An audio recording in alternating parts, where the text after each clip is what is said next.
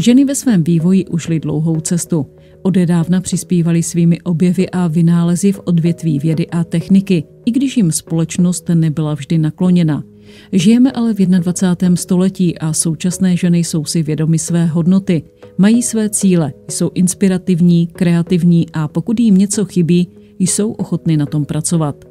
V podcastovém seriálu Věda očima ženy vám postupně představíme ženy z Přírodovědecké fakulty Univerzity Palackého v Olomouci, které se významně podílejí na výzkumu i přípravě studentů vysokých škol a doktorantského studia.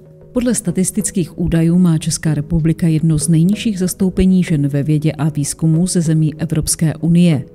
Vědkyň je u nás méně než třetina. Jednou z nich je ale i absolventka Přírodovědecké fakulty Univerzity v Palackého v Olomouci Jana Sekaninová. V experimentální práci se zabývá zejména obranými mechanismy rostlin na různé stresové podněty, spolupracuje se studenty a od minulého roku se zapojila i do projektu Badatel, kde se Přírodovědecká fakulta snaží podpořit talentované studenty středních škol prostřednictvím přírodovědných výzkumných aktivit. Posloucháte podcastový seriál Věda očima ženy. S Janou Sekaninovou z katedry biochemie jsme se setkali v prostorách Přírodovědecké fakulty v Olomouci Holici. U lidské populace se například stres, který zažívají rodiče, přenáší potom na děti. Jak je to u rostlin? Tak u rostlin je to trošičku jiné. Je to tak, že vlastně stejně jako lidé, tak i rostliny jsou vystaveny působení nepříznivých vlivů vnějšího prostředí ale nejednalo, nejedná se o to, že by se vlastně ten stres přenášel z těch rodičů na děti jakoby v rámci té rostlinné říše. Ty stresové faktory, které na rostliny působí, tak většinou nějak negativně ovlivňují tu rostlinu. Mohou způsobovat například inhibici růstu nebo úplně zastavení růstu, Dále potom eh, mohou poškozovat jednotlivé orgány eh, těch rostlin a vést v krajním případě až k odumření vlastně celé té rostliny. Ty stresové faktory uh, mohou být buď biotické nebo abiotické povahy, dělíme je do dvou takových skupin. A mezi ty biotické stresové faktory patří například působení nějakých herbivorních živočichů nebo mm, patogenní mikroorganismy, a nebo potom choroby houbového nebo virového původu. A k těm abiotickým stresovým faktorům, tak tam řadíme například e, buď nadbytek, anebo nedostatek fyzikálních nebo chemických elementů. Nejčastěji je to nadbytek nebo nedostatek vody, kyslíku e, nebo nějakých toxických látek. Dále to může být třeba mechanické poškození a, a další. Takže ty stresové faktory, které působí na rostlinu, eh, v rostlině vyvozují vlastně stres. To je ten stav, ve kterém se rostlina nachází pod vlivem působení těchto faktorů. Eh, ty faktory můžou působit buď to eh, odděleně, ale ve většině případů dochází právě ke kombinaci těch stresů, kdy působí dva nebo i více stresů najednou. Jako příklad bych uvedla třeba nějaká rostlina, která vyroste na poušti, tak je určitě negativně ovlivňována vysokým ozářením. Současně na ní působí vysoká teplota a to bývá i spjato s nedostatkem vody. Takže na tuto rostlinu působí konkrétně třeba tři stresové faktory najednou. A jak to poznáme, že ty rostliny jsou ve stresu? A tak většinou to poznáme hned na první pohled. Rostliny uh, tak nějak dávají najevo, že se jim něco uh, nezdá, že jsou v takovém prostředí, které pro ně není úplně vhodné. Takže nejčastěji dochází vlastně k uh, takové celkovému ovlivnění jejich vitality, k negativnímu působení teda na jejich životaschopnost. Uh, ty rostliny uh, nejčastěji uh, dochází například k zažloutnutí listů nebo k jejich opadávání, potom dochází, jak už jsem říkala před chvilkou, tak k inhibici toho růstu, kdy vlastně se ten růst úplně zastaví nebo se zpomalí. A také dochází k opadávání e, květu a tím se zamezí úplně reprodukční schopnosti té rostliny.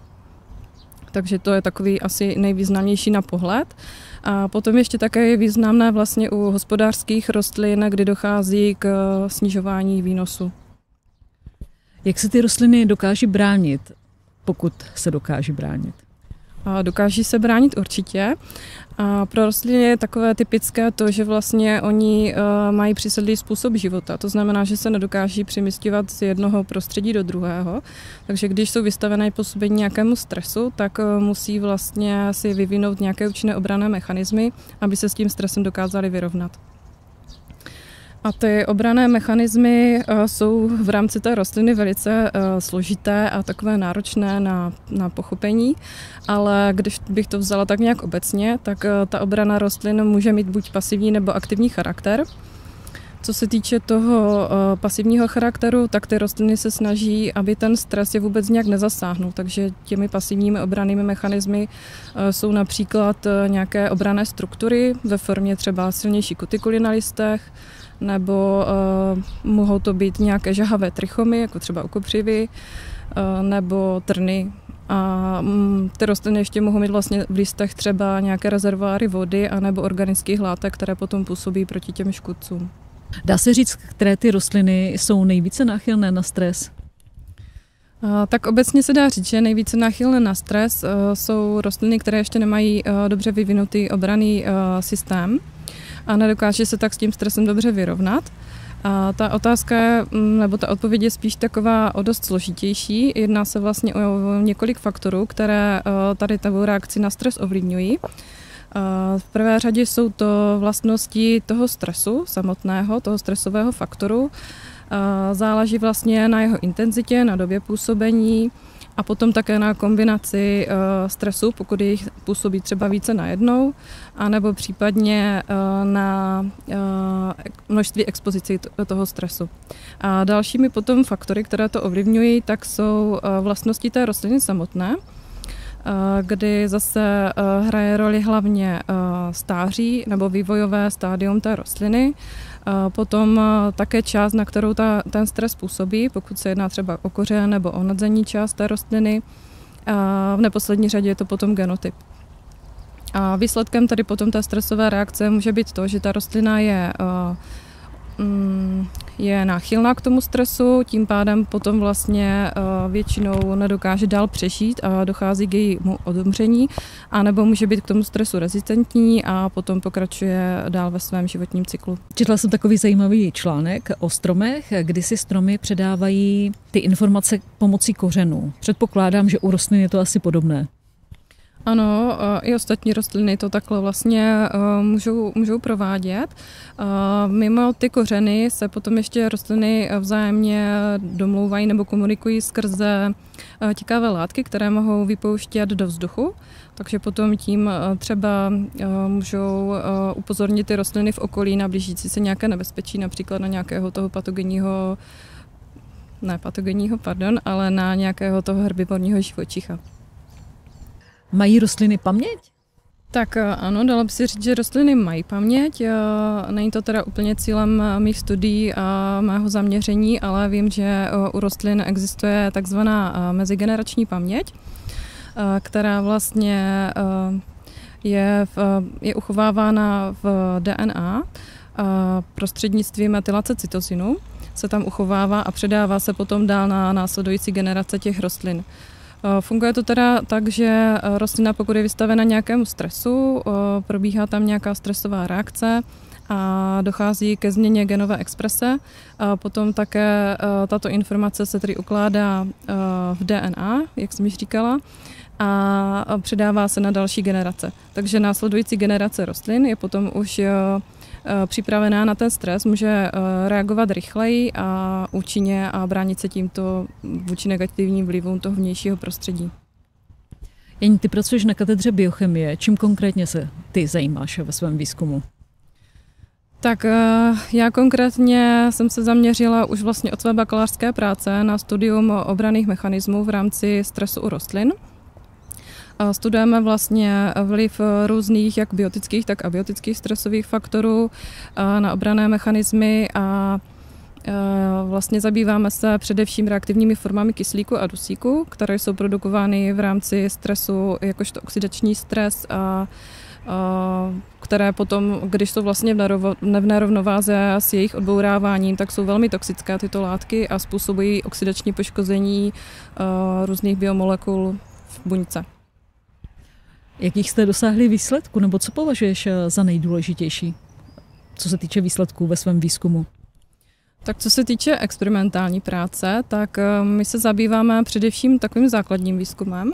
To znamená, že se snažíme pochopit ty úplně základní děje, které vlastně v buňce probíhají a nejsme úplně až tak orientováni na, ten, na to aplikaci tohoto výzkumu v praxi. Takže ne, že bychom jakoby šlechtili třeba nějaké rezistentní rostliny, ale spíš eh, to studujeme na té molekulární úrovni.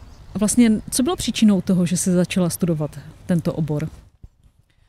Tak biochemii jsem se dostala vlastně ze střední školy, kde mě teda samozřejmě nejvíc bavila biologie, chemie, ale nevěděla jsem úplně tady o tom oboru v Olomouci, který se vlastně ten rok otvíral úplně poprvé, takže jsem se podávala přihlášku na jiné univerzity, kde jsem teda byla přijatá bez přijímacího řízení ale přesto jsem se potom nějak eh, náhodou dozvěděla, že vlastně tady v Olomouci úplně poprvé se otvírá tento obor což mě zaujalo už jenom tím, že bych nemusela cestovat nikam daleko. Zůstala bych vlastně eh, bydlet tady v okolí, tak jak jsem zvykla.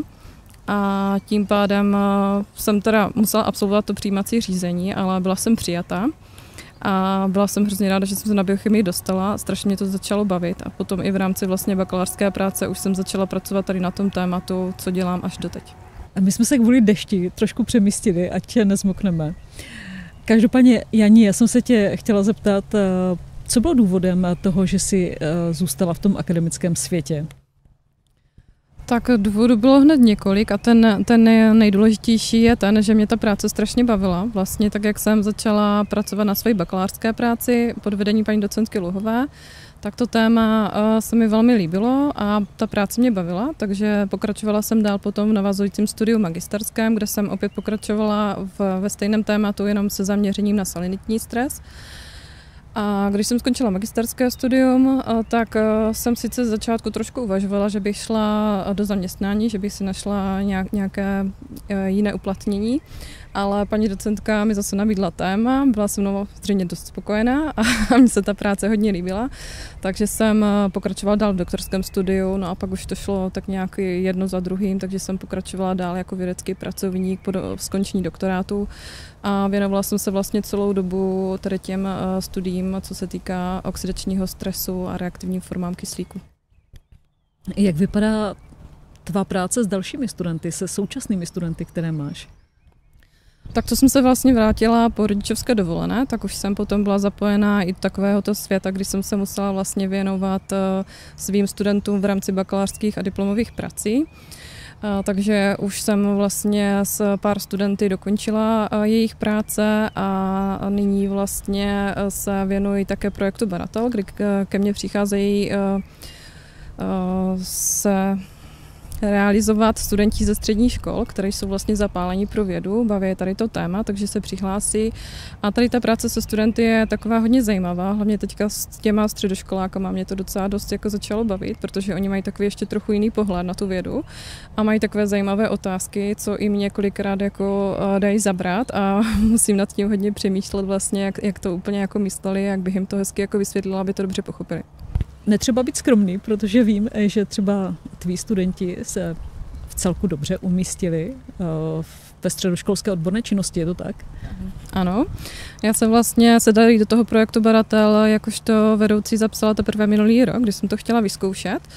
A přijala jsem rovnou tři studenty, protože z dřívějších referencí jsem věděla, že většina z nich eh, se tomu tématu nakonec eh, nedokáže věnovat po celou tu dobu a vlastně tu experimentální práci třeba v polovině ukončí, tak jsem si říkala, že to tak nějak jako vyzkouším se třema, že aspoň jeden den to dotá, jeden student to dotáhne až do konce.